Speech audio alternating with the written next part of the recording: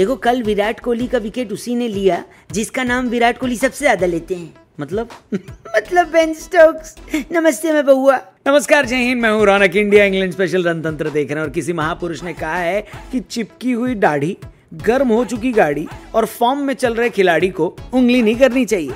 लेकिन ये जो कहावत है शायद विराट कोहली ने नहीं सुनी। सुनेंगे भी कैसे? कहने वाला महापुरुष तो ये है। ले, लेकिन कल कोहली भैया ने जो उंगली करी है ना एक टाइम पर टीम इंडिया को महँगी पड़ने वाली थी। अबे क्या बोल रहा है? पिलियल बॉल पिलियल बॉल! हुआ ये कि जॉनी बेस्टो जब तेरह पर बैटिंग कर रहे थे तब कोहली भैया ने उनको छेड़ते हुए कहा कि इसको मैदान पर गेंद छोड़कर सब दिखाई दे रहा है। लेकिन इतना कहने के बाद जॉनी बेस्टो ने भारतीय टीम को दिन में तारे दिखा दिए।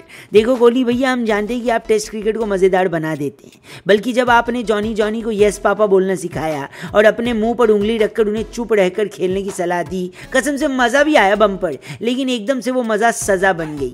आपकी स्लेजिंग तो जॉनी बेस्टो को इतना मोटिवेट कर गई इतना मोटिवेट तो यूट्यूब के मोटिवेशनल स्पीकर नहीं कर पाते। क्या बोला तूने? एक काम करते शुरू से शुरू करते हैं। बहुआ भाई तीसरे दिन का खेल शुरू करने जॉनी बेस्टो और बेन स्टोक्स मैदान पर उतरे। इंग्लैंड वाले अपनी आधी टीम गंवा चुके थे और इंडिया के पास अभी भी 300 से ज़्यादा रन की बढ़त थी। कोई भी नॉर्मल बंदा देखकर यही बोलता कि यहाँ तो टीम इंडिया जीत का शंखनाद बजा देगी। लेकिन जिन्होंने इंडिया और न्यूजीलैंड सीरीज़ फॉलो करी उनको पता है कि जो रूट को छोड़कर इंग्लैंड का टॉप ऑर्डर पूरे साल फुस पटाखा साबित हुआ है। लेकिन फिर भी उन्होंने न्यूजीलैंड को धोया और उस धुलाई में सबसे बढ़िया डिटर्जेंट पाउडर का काम जॉनी बेस्टोर ने किया है। पहले शानदार बल्लेबाजी करने वाले कैप्टन बुमराह फिर बेहतरीन गेंदबाजी करने वाले कैप्टन बुमराह ने मैच का सबसे बेहतरीन कैच लपक कर सामने वाले कप्तान बेन स्टोक्स को आउट कर दिया। लेकिन दिन का हाईलाइट तो विराट कोहली की जॉनी बेस्टो को की गई स्लेजिंग थी। ज़ोर ज़ोर से बोल के लोगों को बता दे। इसके बाद अचानक से गेट चेंज करते हुए उन्होंने सिर्फ़ इक्यासी गेंदों पर अपनी हाफ़ सेंचुरी पूरी कर दी। और लंच तक आते आते इंग्लैंड का स्कोर छह विकेट के नुकसान पर 200 पहुँचा दिया। सैम बिलिंग सात रन और जॉनी बेस्टो 91 बनाकर नॉट आउट थे। लंच से वापस लौटने के बाद सबसे पहले तो जॉनी बेस्टो ने शतक लगाया। इंग्लैंडी एकदम सातवें आसमान पर थे। पिछले तीन टेस्ट मैचों में जॉनी बेस्टो का यह तीसरा शतक था, यही नहीं। 2022 में जॉनी बेस्टो सर्वाधिक रन बनाने वाले बल्लेबाज बन गए।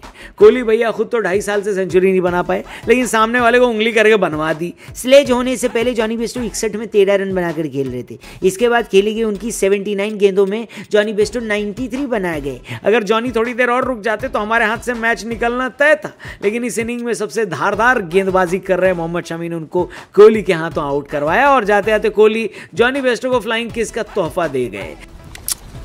लव यू जॉनी बेस्टो के जाने के बाद ये तो क्लियर था कि इंडिया बड़ी लीड लेने वाली सवाल ये था कितनी बड़ी? मोहम्मद सिराज ने जल्दी इसका जवाब दे दिया। सिराज ने सर्वाधिक चार विकेट लेकर इंग्लैंड को 284 पर बाँध दिया और इंडिया को 132 की महत्वपूर्ण लीड दिलवाई। यहाँ आपको याद दिला दे कि जब जब इंडिया ने पहले बैटिंग करी है और सौ से ज़्यादा की लीड ली है वो टेस्ट मैच कभी नहीं हारी है।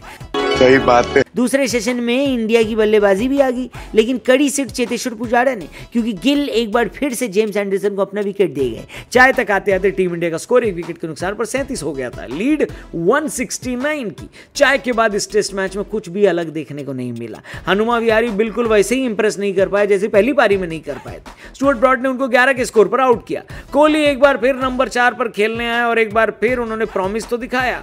बोले तो पहली गेंद पर बेहतरीन कवर ड्राइव लगाई और उसके बाद एक और कवर ड्राइव के साथ दो बाउंड्री मार चुके थे। रिदम बढ़िया लग रही थी। हमारी उम्मीद एक बार फिर उछाल मारने लगी। अग्रवाल जी के यहाँ से हम मिठाई का ऑर्डर देने वाले ही थे कि तभी सारा प्लान बर्बाद। बेन स्टोक्स इंग्लैंड के कप्तान बेन स्टोक्स ने कोहली को विकेट के पीछे रूट के हाथों कैच करा दिया। और इसी के साथ कोहली की सेंचुरी के बिना हमारे नौ सौ बावन दिन गुजर गए।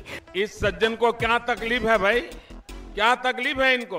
कोहली ने जब आखिरी बार अपनी सेंचुरी बनाई थी, तब उनका एवरेज 54 से ज़्यादा हुआ करता था। अब एवरेज खिसक 50 से कम का आ गया है। लेकिन पंत और पुजारा ने भारत की मज़बूत स्थिति को और अखंड मज़बूत बना दिया। ऋषभ पंत ने तो अपनी पारी वहीं से शुरू करी, जहाँ उन्होंने पहली इनिंग में छोड़ी थी और दिन का खेल खत्म होने तक छियालीस में तीस रन बना लिए। वहीं दूसरी तरफ़ पुज्जी भैया को अपने धैर्य और साहस का अच्छा सिला मिला और दिन के आखिरी ओवर में उन्होंने अपनी हाफ़ सेंचुरी पूरी कर ली। तीसरे दिन का खेल खत्म होने पर इंडिया का स्कोर 125 है, जबकि लीड 257 की। आपके हिसाब से हमें इंग्लैंडियों को कितना टारगेट देना चाहिए? एक पोल हमने अपने यूट्यूब चैनल पर डाली है। उस पर पार्टिसिपेट ज़रूर करना और हमारे चैनल को सब्सक्राइब करके फेसबुक पेज को भी लाइक करना। बाकी हेलो हमारा दूसरा चैनल क्रिक हो, आपका वेट कर रहा है, जहाँ पर हम बहुत सारी क्रिकेट की और भी मस्ती वहाँ पर आपके लिए लाते हैं। फ़िलहाल जाते हैं। See you tomorrow thank you for watching Jai Hind और कोहली के लिए। क्या बोलेगा? यही कि साला दुख खत्म का नहीं होता वे